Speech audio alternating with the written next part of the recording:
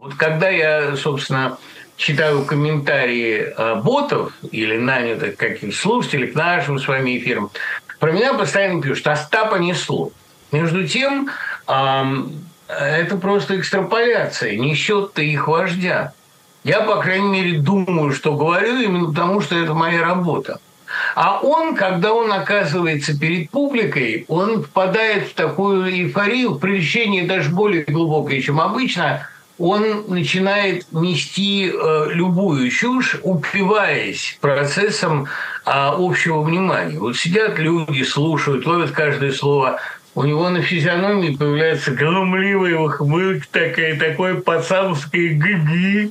И он начинает с таким выражением, ну, с каким э, Задорнов говорил, ну, тупые. Он начинает весь мир опускать. Это у него такое а, ну, немножко у Лукашенко есть что-то подобное. Лукашенко-то несет еще более наглядно, но Лукашенко, мне кажется, человек вообще неадекватный. Человек совсем нездоровый, потому что ну, 30 лет без альтернативной власти они и человека с более крепким умом могли, конечно, разрушить полностью. Там сейчас ничего живого нет. А Владимир Путин какое-то время, по крайней мере, еще себя контролировал.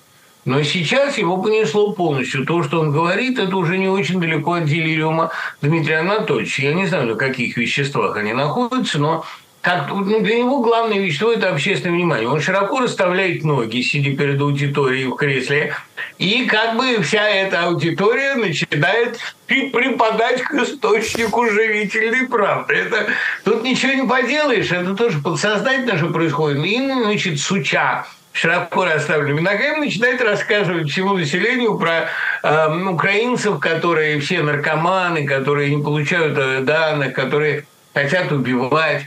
Тут, кстати говоря, ведь вы понимаете, не только Владимир Путин, а значительная часть российских либералов попадает в такой интересный дискурс. Хватит стрелять, давайте прекращать войну.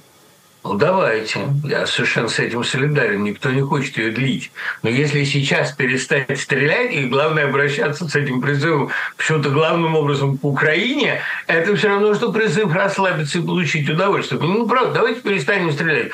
Украинцы перестанут гибнуть, украинцев станут насиловать, но они, по крайней мере, перестанут гибнуть. Давайте э, дадим захватчику полный карт-бланш, пусть он берет сколько захочет, зато все будут живы. Во-первых, не будут. Потому что бывает а, с мирным населением, когда туда входит захватчик, вам Бучу показал достаточно. Россия до сих пор за упоминание Бучи немедленно возбуждает уголовные дела и там, э, фейки, там, распространение сведений и так далее. Но это бог с ним. А давайте представим себе, что будет реально, если сейчас перестать стрелять. Неужели вы думаете, что Россия сейчас остановит наступление, что Россия перестанет сейчас стрелять в Донецк, ее, э, так сказать, украинское вторжение на свою территорию не остановило и, видимо, не остановит. Поэтому о каком пацифизме, о каком прекращении войны, о каком прекращении стрельбы можно говорить в условном 43 году. Именно как раз, когда война отчетливо переламывается. Значит, когда фактически Запад опять дозрел до открытия Второго фронта.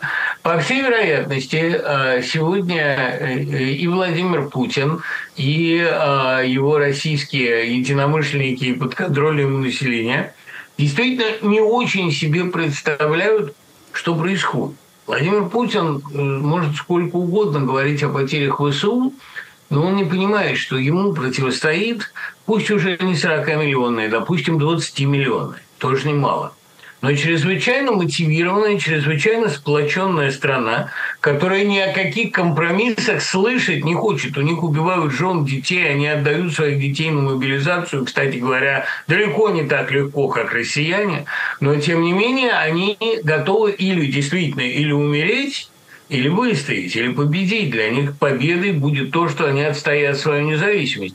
Не нужно, пожалуйста, думать, будто а, Украина, кажется, Владимир Путин до сих пор так думает, Украина – это бывшая республика, управляемая сбесившимся кокаинистом-националистом. Зеленский не националист. Зеленский не кокаинист. Зеленский не взбесился. Зеленский – народный, легитимно избранный вождь, которого страна далеко не жаждет смещать.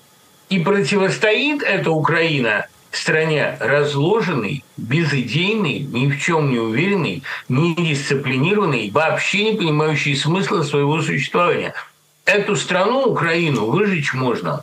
Победить ее сейчас нельзя совершенно. Скажите это кто-нибудь Владимиру Путину, который до сих пор считает победой, если он всех убил. Это не так. Большое спасибо, что смотрите нас.